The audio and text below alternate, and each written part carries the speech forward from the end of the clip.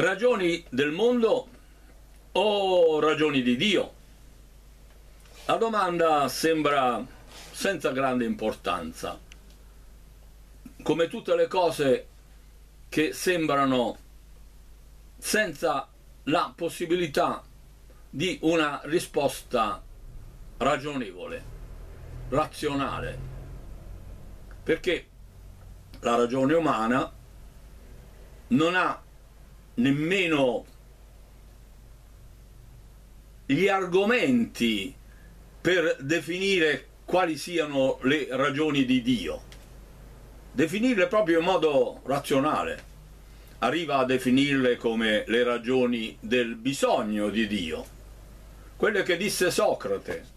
Dio è quel rifugio nei confronti delle difficoltà dell'uomo che vedendole e vedendo la propria vita così messa allo sbaraglio auspica, vuole credere nell'esistenza di un Dio di giustizia che alla fine metta a posto tutte le palesi ingiustizie che esistono e sono patite da tutti i soggetti viventi del mondo. Dunque Dio è un bisogno, ma che al bisogno corrisponda poi la realtà di chi ti soccorre e ci passa proprio una esperienza che noi non siamo in grado di fare e di conseguenza non è sufficiente con la ragione di imporla come esistente, come vera.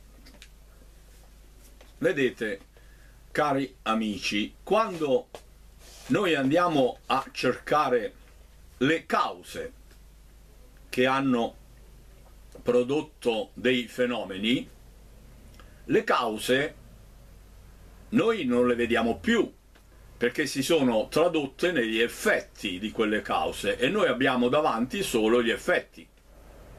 Ma proprio perché abbiamo avanti gli effetti possiamo avere la certezza che essi abbiano avuto una causa perché noi vediamo il nostro esistere in un mondo dominato dalla casualità, ossia dal fatto che esistono cause in grado di determinare effetti.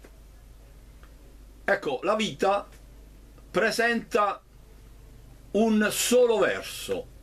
Ci sono le cause che proprio perché hanno potenza di determinare reazioni, le impongono e di conseguenza dalla presenza di reazioni noi siamo in grado di risalire all'esistenza vera di azioni, anche se noi non le vediamo più. Questo è vero. E allora se noi siamo in questo mondo in cui noi vediamo sempre solo gli effetti e mai le cause, dicendo che le cause sono contrapposte agli effetti. E esiste questo rapporto di contrapposizione tra causa e effetto, tra azione e reazione in cui l'azione è la causa, la reazione è l'effetto e noi vediamo sempre la reazione. Sono queste due azioni di segno inverso tra di loro perché una dinamica in atto porta alla sua reazione data proprio nella dinamica contrapposta. Se noi immaginiamo di rappresentare la causa come un'azione nel tempo e la evidenziamo come un vettore che sia una freccetta che indichi il verso in azione, la modalità del modulo, ossia della quantità che esiste in azione e della lunghezza dell'azione, noi possiamo con tutti i crismi di verità rappresentare l'azione uguale e contraria nel vettore esattamente contrapposto. Tanto che se noi si abbia uno 0, da una parte ci sia il vettore più 1 e dall'altra il vettore meno 1. Ecco, immaginare in un modo reale, costruito con l'intelligenza, questo complesso in cui noi siamo, lo porta proprio a esistere come due vettori che esistono tutti e due e sono contrapposti l'uno all'altro. Possono essere contrapposti nei due modi di una fuga da un punto centrale, oppure possono essere contrapposti a loro volta in due vettori che puntino su un punto centrale. Un andamento centripeto e un andamento centrifugo. Allora noi andiamo a capire che quando esistono tutti e due i modelli, noi abbiamo un modello centripeto che esiste insieme al modello centrifugo. Il modello centrifugo è quello reale, di una realtà che vediamo presente in atto, in cui emanati da un punto centrale che la scienza sta considerando come il Big Bang, poi c'è tutto il moto centripeto della materia e della luce. Ma queste due forme di materia e luce fanno parte realmente di un complesso. La luce fa parte del complesso elettromagnetico, in cui mentre possiamo assegnare alla luce un vettore diretto in un modo, il magnetismo è il vettore contrapposto diretto nell'altro modo.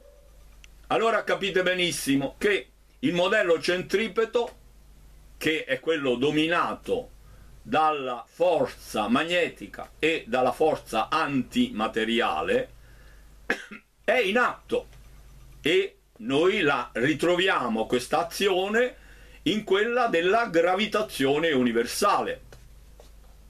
L'esistenza del modello opposto, non dell'accentramento magnetico e materiale, ma di quello di, in forma di espansione, che allora si presenta nella forma contrapposta al magnetismo, che è quella dell'elettricità, nella forma contrapposta a quella della materia, a quella dell'antimateria, che è quella della materia, noi vediamo bene che se nel nostro mondo reale noi vediamo l'espansione della forma luce e della forma materia, questa dinamica esiste sulla giusta contrapposizione alla dinamica centripeta di magnetismo e di antimateria.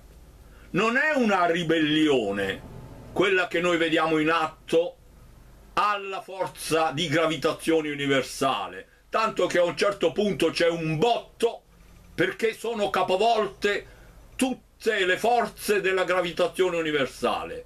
No, è la giusta presenza in azione e in azione uguale e contraria dei due fenomeni, uno centripeto nella forma del magnetismo e dell'antimateria, l'altro centrifugo nelle forme opposte della luce e della materia. Quindi noi esistiamo in un complesso a due, uno dei quali è la realtà che appare dinamica, che appare diveniristica, che appare evolutiva nelle forme di una realtà affidata alla percezione della luce e della materia che vediamo venire divenire dal Big Bang e l'altra che noi non vediamo ma che è la causa di questa che, che noi stiamo vedendo così. E allora capiamo che la logica divina è la logica causale che porta tutto a quel punto centrale. E la logica materiale è tutta quella invece che parte da quel punto centrale. E noi allora arriviamo a capire che la logica del mondo e la logica dell'altro mondo non sono due cose che sono disancorate con il nostro sistema binario di riferimento, ma sono proprio coerenti con questo sistema, in cui la causa, quella che non appare, quella che trascende la realtà, e come tutte le cose che trascendono la realtà sono definibili divine, sono la logica divina, trascendente la realtà, che trascina tutto verso l'origine. E sulla forza di questa onnipotenza divina noi stiamo vedendo la potenza della realtà, dell'universo e del nostro mondo reale, però solo come un effetto indotto in ciò che è uguale e contrario dall'azione divina. E poiché l'azione divina ha ciò che è esattamente uguale e contrario a Dio, il diavolo, noi vediamo proprio coerente questo mondo preda del diavolo. Il diavolo è l'entità assoluta malefica, ma questo diavolo che noi lo vediamo realmente in atto nella vita, che nasce per andare a morire, che nasce per vedere sfiorire tutto il potenziale di un bambino in un uomo che a mano a mano che avanza si determina sempre più e impoverisce sempre più e pone tutta la sua vita morale, ideale, al consumismo più sfrenato fino ad arrivare al consumismo della stessa vita. Questa è la logica del mondo, una logica dominata dal maligno. Ma attenzione, questo maligno non c'è.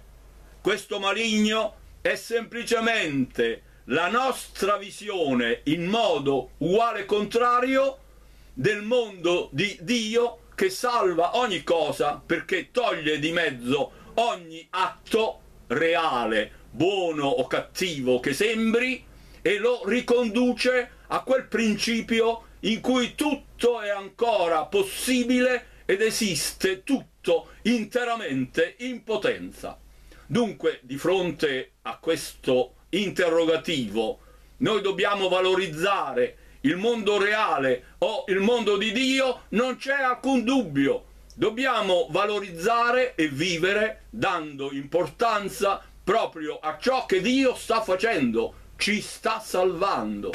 E allora la vita umana si consoli, si veda in questo mondo demoniaco perché è la rappresentazione demoniaca della assoluta salvezza indotta dal mondo di Dio, da quel mondo che trascende questa realtà fino a ribaltarla totalmente nella sua dinamica. Non c'è più un bambino che diventa vecchio e muore, ma c'è un morto che ritorna bambino e c'è una vita che nasce dalla polvere del sepolcro per andare a indiarsi in Dio. E quindi questo Dio, che secondo Socrate era soltanto quel marchingegno che l'uomo si era inventato per risolvere i suoi problemi, è tutt'altro che questo. È un Dio che risolve tutti i suoi problemi, ma lascia vedere un mondo demoniaco in cui apparentemente appaiono tutti i problemi che poi Dio sta risolvendo.